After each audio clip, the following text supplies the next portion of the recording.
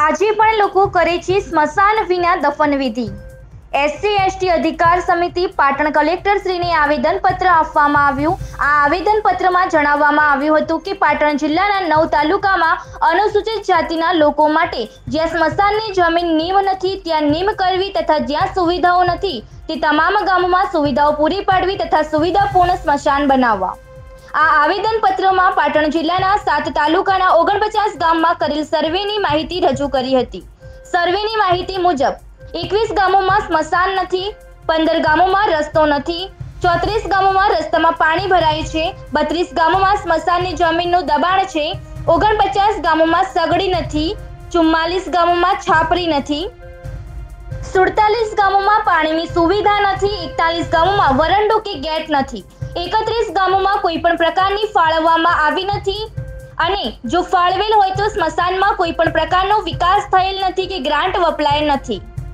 બે ગામોમાં હારીજ તાલુકાનું કાઠી અને પાટણ તાલુકાનું ચંદ્રુમાના સ્મશાનની જમીનનું સંપૂર્ણ દબાણ છે તથા જમીન ખેડીને દબાણદારોએ ખેતર બનાવી દીધેલ છે.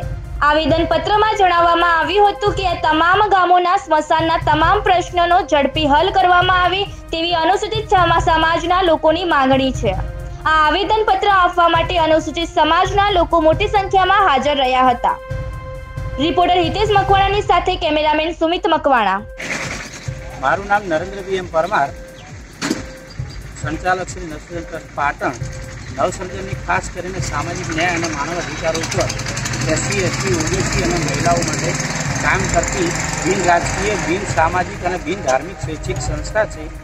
આ સંસ્થા અને એસસી એસટી અધિકાર સમિતિ પાટણ જિલ્લા દ્વારા આજે પાટણ જિલ્લાના અનુસૂચિત જાતિના લોકોના સ્મશાનોના પ્રશ્ન બાબતે કલેક્ટર સાહેબને આવેદનપત્ર આપવાનો કાર્યક્રમ રાખેલો છે, જેમાં ખાસ કરીને અનુસૂચિત જાતિના લોકોના સ્મશાનમાં જવાના રસ્તા નથી.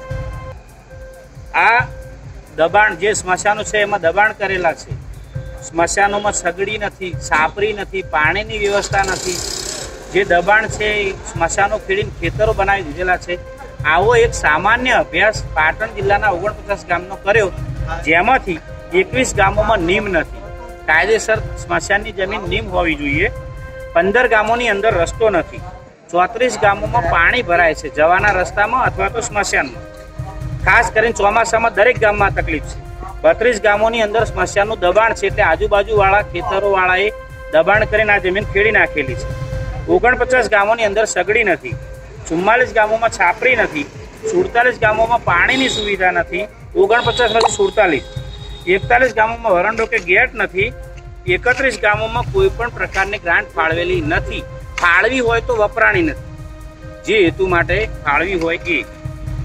અને બે ગામ એવા છે હારીજ તાલુકાનું કાઠી અને ચંદ્રમાણાનું પાટણ કે જ્યાં બિલકુલ સ્મશાનની જગ્યા જ નથી. કાઠીની અંદર તો ખેતરોમાં દફન વિધિ થાય છે અને પછી ખેતરવાળા આવી અને બીજા કે ત્રીજા દિવસે ખેડી નાખે. સ્મશાન હતું કે સ્વજન ક્યાં હતું એની પણ કોઈને ખબર હોતી નથી.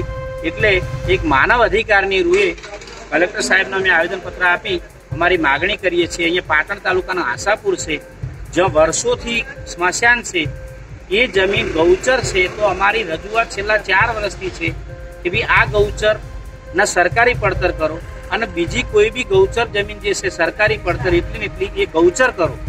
તો એ પણ જન્મ લેવામાં આવતું નથી. કોઈટા ગામની અંદર પણ સ્મશાન જેવું કશું છે નહીં. એટલે આ ઓગણપચાસ ગામોની સાથે સાથે પાટણ જિલ્લાના તમામ ગામોની અંદર અનુસૂચિત જાતિના લોકોના સ્મશાનમાં જે પણ પ્રશ્ન હોય એ તમામ હલ કરવા અમે સરકારશ્રીને કલેક્ટર સાહેબ મારફત આવેદનપત્ર આપી અમારી માગણી કરીએ છીએ.